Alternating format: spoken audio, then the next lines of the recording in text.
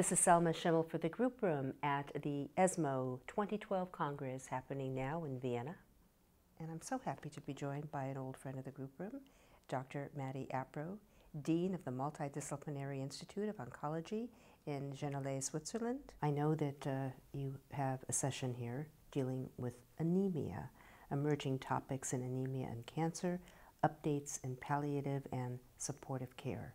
And supportive and palliative care seems to be a really dominant theme. Well, I'm happy to say that support and palliative uh, has impressed you as being quite present here at ESMO. Uh, uh, as a past president of MASCC, which is Multinational Association of Supportive Care in Cancer, I'm very happy that uh, this particular field is recognized as being an important part of the curative treatment of cancer patients. Can you tell us some of the highlights of your presentation? I basically looked at two different aspects.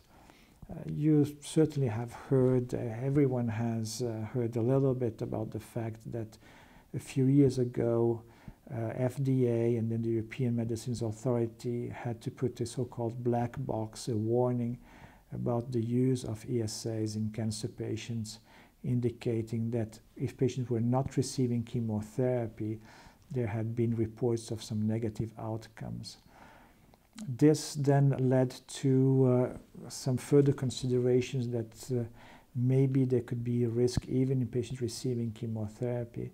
In the past 18 months, we have had several studies that have been released that all show that there is no problem when patients are adequately treated according to label with these agents and are receiving chemotherapy, uh, either they benefit in terms of improved quality of life or decreased need of transfusions, or they just have no benefit, but there's no risk. And even in curative settings like the treatment of lymphoma, there are even some data that suggest that it might be beneficial, but these data have not been, been fully published. The other aspect is that we learned at medical school already a long time ago that one of the main reasons of anemia in the population is that they don't have enough iron on board.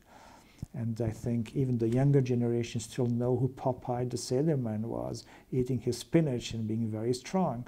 And what is in spinach and makes you strong? It's iron. And iron is an essential part of the elements that our body needs to be strong and to cope with all kinds of insults, injuries, and stresses. And if you don't have enough iron, there are many things that can go wrong. You are tired, you are fatigued, even if you're not anemic, even if your red blood cell mass is still good.